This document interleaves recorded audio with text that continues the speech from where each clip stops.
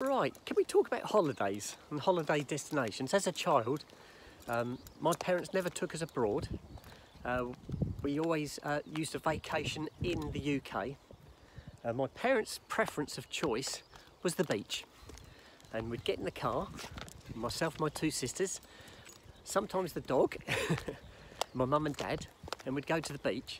And our beach of choice back then was a beach called Brancaster Beach, which is on the North Norfolk coast, uh, fairly close to Hunstanton. Oh wow, as children I loved it. Beautiful beach, it's a very very sandy beach, a fairly shallow beach as in a, a, a gentle slope into the sea. So there was no big drop-offs. And there used to be a sandbar that used to come up out of the sea when the tide went out. And on top of that sandbar was a shipwreck.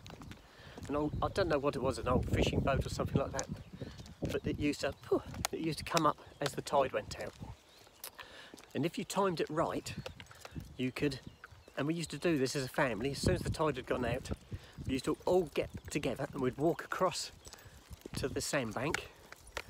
Um, the water was usually about ankle to knee deep and you could get across it then you could walk around it and then head straight back.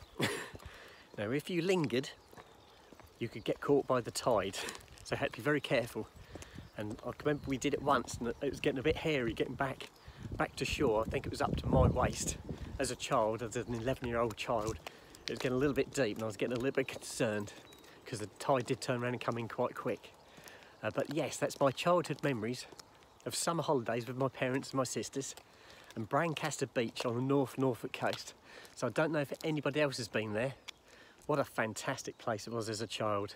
Playing in the sand dunes playing on the beach Oh, it's wonderful. Right, I'm going to sign out, guys, and let me know where you used to go when you were a child. Okay, bye-bye.